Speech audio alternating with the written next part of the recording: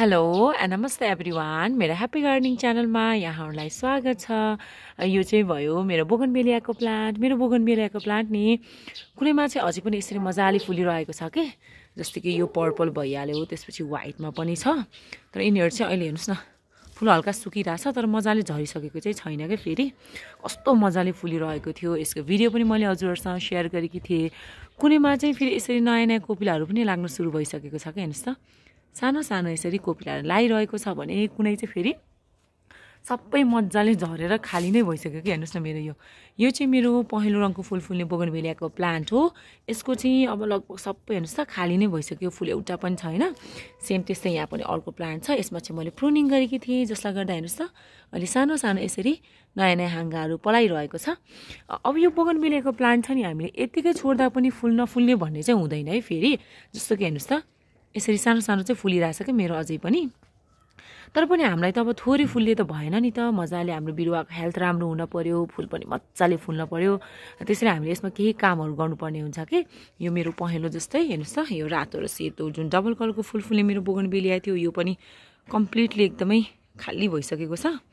त्यसपछि कुनैमा चाहिँ फेरि अझै मजाले फुलिरहेछ। हेर्नुहोस् न यो रातो पनि अब लगभग अलिक उसै भइसकेको छ कि फुलहरू। यो चाहिँ मेरो अरेन्ज कलरको भयो। कस्तो मिठो कलर छ? यसरी कुनैमा चाहिँ मजाले फुल फुलिरहेको छ? यिनीहरूलाई चाहिँ अलिक केही गर्नु पर्दैन। अलिक समय नातिँदा पनि हुन्छ फुल फुलिरहेकोलाई अब केही गर्ने कुरा पनि त भएन नि। यसलाई चाहिँ फुल नझरेसम्म यत्तिकै छोड्ने। तर हामीले अघि मैले भने चाहिँ यदि हाम्रो गमलाको फुलहरू यसरी झरिसकेको छ भने यसमा हामीले केही कामहरू गर्नै पर्ने हुन्छ। नत्र चाहिँ हाम्रो मजाले फुल पनि फुल्दैन। सो आजको यस भिडियोमा चाहिँ म यस्तै केही कामहरूको बारेमा हजुरहरूसँग सेयर गर्दैछु। कि हामीले यसलाई के के गर्ने अब? कसरी राख्दा हामीले यसबाट अझै धेरैभन्दा धेरै फुलहरू लिन सक्छौँ? बारेमा कुरा गर्नेछु। आशा छ हजुरलाई मेरो यो भिडियो मन पर्नेछ सबैभन्दा पहिले त हामीले हाम्रो बिरुवामा गर्नुपर्ने कुरा हो प्रुनिङ यानि कि काटछाँट जस्तो कि हेर्नुहोस् त मेरो यो फुलहरू यसरी लामो लामो आइरहेछ कि हाँगाहरू जसले गर्दा सेप त्यति राम्रो देखिएको छैन नि त। सो हामीले सबैभन्दा पहिले चाहिँ यसलाई प्रुनिङ गर्नुपर्छ ताकि यसको सेप पनि राम्रो देखियोस् भने यसमा धेरैभन्दा धेरै हाँगा पनि आओस् कि।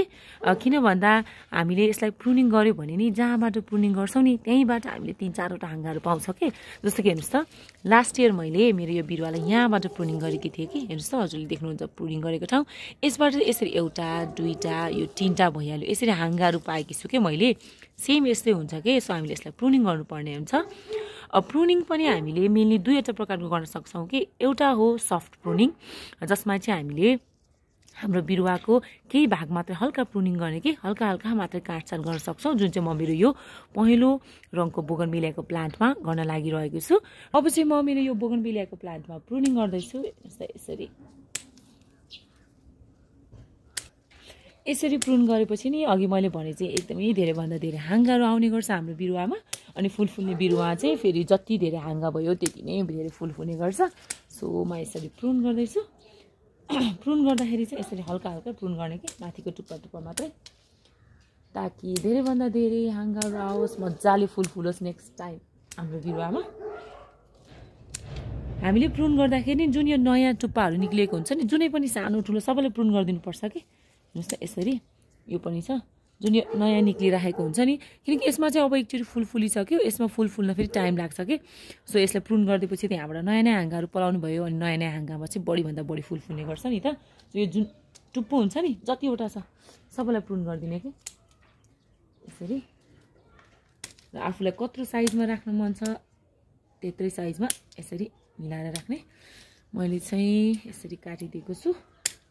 यो त भयो सफ्ट प्रुनिङको कुरा अब चाहिँ कुरा गरौँ हार्ड प्रुनिङको बारेमा। हार्ड प्रुनिङ भनेको चाहिँ जुनै पनि बिरुवालाई हामीले तिन भागमा कन्भर्ट गर्ने र तिन भागमा दुई भाग चाहिँ काटेर बिरुवाबाट हटाउने एक भाग मात्रै राख्नेलाई चाहिँ हामी हार्ड प्रुनिङ भन्छौँ। जस्तो कि कुनै बिरुवा तिन मिटरको छ त्यसलाई चाहिँ दुई मिटर काटेर हटाउने एक मिटर मात्रै हाम्रो बिरुवामा राख्नु छ भने हामी हार्ड प्रुनिङ भन्छौँ। त्यस्तो चाहिँ बिरुवा एकदमै लामो लामो अथवा अग्लो छ हामीलाई चाहिँ त्यसको हाइट घटाउनु छ मजाले भने चाहिँ हामीले हार्ड प्रुनिङ गर्न सक्छौँ। र यो बोगनबेलियाको प्लान्टमा पनि अबको समयमा सफ्ट प्रुनिङ पनि र हार्ड प्रुनिङ पनि गर्न सक्छौँ कि? जस्तो कि मेरो यो रातो र सेतो रङको फुल फुल्ने बिरुवा छ नि यसलाई चाहिँ म हार्ड प्रुनिङ गर्ने सोचिरहेको छु। तर अहिले चाहिँ म मेरो यो बिरुवालाई हार्ड प्रुनिङ गर्दिनँ किनकि हार्ड प्रुनिङ गर्दाखेरि हामीसँग थुप्रै हाँगाहरू निक्लिन्छ कि? त्यो हाँगाहरूले यतिकै फाल्ने कुरा भएन त्यसलाई रोपेपछि हामीले त्यसैबाट नयाँ नयाँ बिरुवाहरू बनाउन सक्छौँ। र अहिले चाहिँ अलिक चिसै छ कि? अब हजुरहरूतिर कस्तो छ? हाम्रो पोखरातिर त एकदमै चिसो छ अहिले। शीतहरू परिरहेछ। यस्तो चिसोमा चाहिँ हाँगा ग्रो हुने चान्स अलिक कम नै हुन्छ। हाँगाबाट जरा पलाउँदैन त्यसै हाम्रो हाँगाहरू खेर जान पनि सक्छ। सो म चाहिँ एक महिना जति अझै वेट गर्छु कि अनि त्यसपछि फागुनको आधा आधा जति लागेपछि मात्रै म यिनीहरूलाई हार्ड प्रुनिङ गर्छु। मेरो यो अरेन्ज कलरको फुल फुल्ने यसलाई पनि मैले हार्ड प्रुनिङ गर्नु छ योपालि हार्ड प्रुनिङ गरेर रिपोर्टिङ पनि गर्नु छ यसलाई पनि म अझै एक महिना जति त कम्तीमा पनि कुर्छु। मजाले न्यानो आइसकेपछि अनि बल्ल म यसलाई हात प्रुनिङ गरेर त्यसपछि यसैबाट हाँगाहरू निकालेर नयाँ नयाँ प्लान्टहरू बनाउने गर्छु। जुन चाहिँ कति हामीले सेल गरे पनि भयो साथीभाइलाई दिँदा पनि भयो। त अहिले मजाले फुली पनि रहेको छ। र अघि मैले भने चाहिँ अलिक चिसो पनि छ नि त। अब यस्तो चिसोमा फेरि हाँगा काटेर हाँगाहरू खेर जानुभन्दा अलिक समय कुर्नु नै बेस्ट हुन्छ। सो म चाहिँ अलिक समय कुर्दैछु। तर यदि हजुरहरूकोतिर चाहिँ न्यानो छ अथवा भनौँ हजुरहरूलाई हाँगा ग्रो गर्नु छैन होइन काटेर फ्याँकिदिने हो भने चाहिँ अहिले नै हात प्रुनिङ गर्दा हुन्छ है। छ भने चाहिँ जस्ट सफ्ट प्रुनिङ मात्रै गरेँ मेरो पहेँलो रङको फुल फुल्ने बोगनबेरियाको प्लान्टलाई प्रुनिङ गर्दाखेरि चाहिँ यस्तो फाइदा हुन्छ कि हेर्नुहोस् त मेरो चाहिँ यहाँ पिङ्क कलरको फुल फुल्ने जुन जुप्पो खालको फुल छ नि त्यस्तो खालको बिरुवा हो जसको फोटो चाहिँ हजुरहरूले स्क्रिनमा देख्न सक्नुहुन्छ। यसलाई चाहिँ मैले अलिक समय अगाडि प्रुन गरेकी थिएँ कि हेर्नुहोस् त। सबैको हाँगामा यसरी प्रुन गरेकी थिएँ। यो खासै ठुलो प्लान्ट छैन त्यसैले मैले यसलाई सफ्ट प्रुनिङ गरेकी हुँ। र अहिले यसरी नयाँ नयाँ हाँगाहरू मजाले पलाइरहेको छ कि हेर्नुहोस् त यहीँ तलबाटै। मजाले पलाइरहेको छ। अझै सानो कोपिला पनि लगाइरहेछ कि यहाँ त? यसरी हेर्नुहोस् त सबै हाँगामा यसरी नयाँ नयाँ जुन पालुवाहरू छ त्यो पलाइरहेको छ। यो फाइदा हुन्छ प्रुनिङको सो हामीले प्रुनिङ चाहिँ समयमै गर्नुपर्छ है। कति साथीहरूले भन्नुहुन्छ कि मेरो चाहिँ यो बोगनबेलियाको प्लान्ट एकदमै अग्लो गयो लामो गइरहेछ के गर्ने होला? फुल एकदमै थोरै फुलिरहेछ भनेर मेन रिजन चाहिँ यो पनि हुनसक्छ है प्रुनिङ नगर्नाले। प्रुनिङ गर्दाखेरि चाहिँ अब अघि मैले भने चाहिँ हाँगाहरू पनि मजाले पाउने भयो हाँगा दिएर भएपछि फुल पनि मजाले फुल्छ। सो हामीले यसरी प्रुनिङ चाहिँ गर्नुपर्ने हुन्छ। यसरी हामीले हाम्रो बोगन मिलाएको प्लान्टलाई काटछाट गरिसकेपछि अब यसलाई हामीले मल थप्नुपर्ने हुन्छ किनकि अब यसलाई नयाँ नयाँ हाँगाहरू निकाल्नु पऱ्यो त्यसको लागि चाहिँ यसलाई बढीभन्दा बढी इनर्जीको आवश्यकता पर्छ नि त। सो यसले चाहिँ इनर्जी पाउने भनेकै मलहरूबाट हो सो हामीले चाहिँ हाम्रो बिरुवालाई पर्याप्त मात्रामा पुग्ने गरी मजाले मल दिनुपर्ने हुन्छ। सो यसका लागि चाहिँ हामीले सबैभन्दा पहिले यसरी गोडमेल गर्नुपर्छ कि माटोलाई ताकि माटो खुकुलो होस्। हामीले मलहरू मिक्स गर्दा पनि मजाले हाम्रो माटोमा मल मिक्स होस्। गोडमेल चाहिँ हामीले मल हाल्ने बेलामा मात्रै भन्दा पनि प्रत्येक महिना जस्तो गर्दाखेरि एकदमै राम्रो हुन्छ। यसले गर्दाखेरि चाहिँ एउटा त माटो खुकुले हुनुभयो जसले गर्दाखेरि चाहिँ हाम्रो माटोमा एरिएसनको ठाउँ हुन्छ कि? अथवा भनौँ माटोमा हावा खेल्न सजिलो हुन्छ। र हावा खेल्न सजिलो भएपछि चाहिँ हाम्रो जराको हेल्थ राम्रो हुन्छ। जराको हेल्थ राम्रो भएपछि बिरुवा त्यत्तिकै राम्रो हुने भइहाल्यो। सो यसरी पहिला गोडमेल गर्ने। मल दिनुभन्दा अगाडि चाहिँ हामीले गोडमेल गरेकै हुनुपर्छ कि? यसरी यसमा एक्स्ट्रा केही झारहरू छ भने पनि हटाउने। यसो गर्दाखेरि चाहिँ यसरी हल्का हल्का जराहरू निक्लिन्छ है त्यसले चाहिँ खासै फरक पर्दैन। किनकि हाम्रो यो एकदम पुरानो प्लान्ट हो पुरानो प्लान्टमा त टन्नै जराहरू हुन्छ। यदि कलिलो प्लान्ट छ भने चाहिँ अलिक बचाएर काम गर्नुपर्छ हामीले गोडमेलको काम गर्दा। यसो गऱ्यो त्यसपछि चाहिँ सबैभन्दा पहिले र हामीले मजाले दिनुपर्ने मन भरेको चाहिँ कम्पोस्ट हो। म चाहिँ यहाँ वर्मी कम्पोस्ट लिँदैछु है।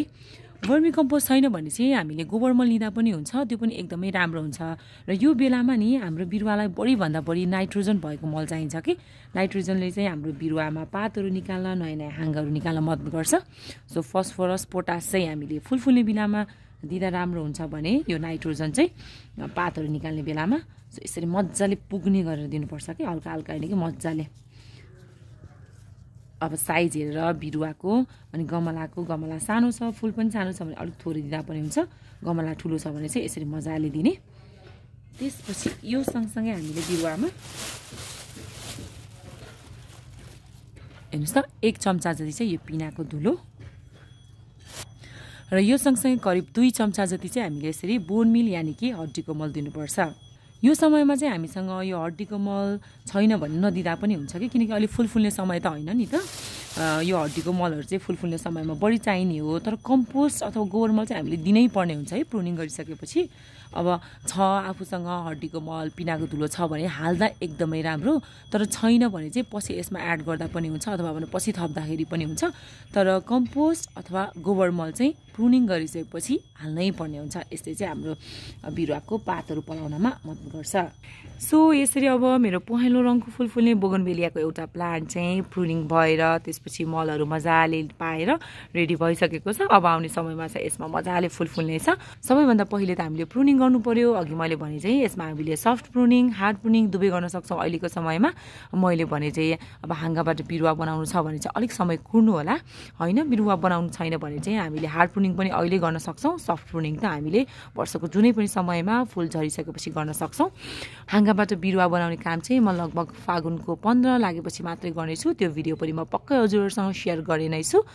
जसमा चाहिँ मसँग भएको सबै प्लान्टहरू जस्तो कि भयो पिङ्क र वाइट रेड र वाइट सबैको म गर्ने गर्छु वर्षै पछि सो त्यो पनि म हजुरहरूसँग भिडियो सेयर गर्ने नै छु। यो रहेको थियो। हामीले बोगन बिला प्लान्टमा फुल फुलेर झरिसकेपछि के कस्ता काम गर्नुपर्छ भन्ने बारेमा एउटा सानो भिडियो आशा छ। हजुर सबैलाई मेरो यो भिडियो मनपर्नेछ र यसले चाहिँ हजुरहरूलाई हजुरको गार्डनिङमा केही हदसम्म भए पनि हेल्प गर्नेछ।